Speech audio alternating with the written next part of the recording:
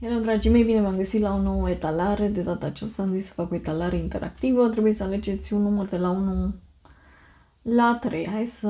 Da, hai 1 și 3. De la 1 la 3. 1, 2 sau 3. Și să vedem cartea pentru numărul 1.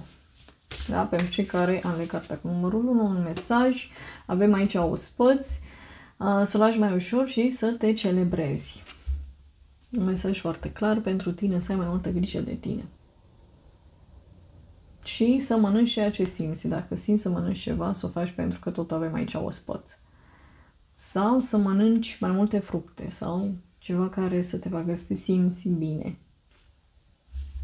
Ok, să vedem pentru cei care ați ales cartea cu numărul 2, ce aveți aici. Ok, că ai nevoie de zahăr, nu de sare. E așa o energie colectivă cu mâncarea, văd.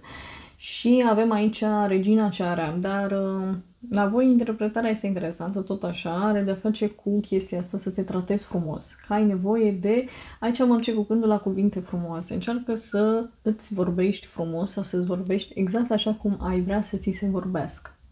De să vorbești cu ceilalți exact așa cum ai vrea să uh, ți se vorbească și ție.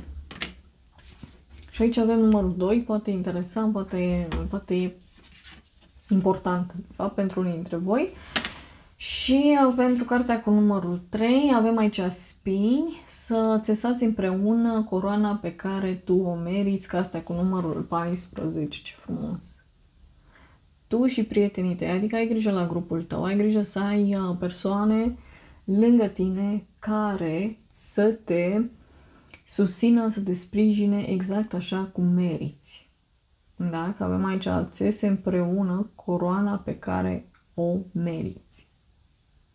Deci e important.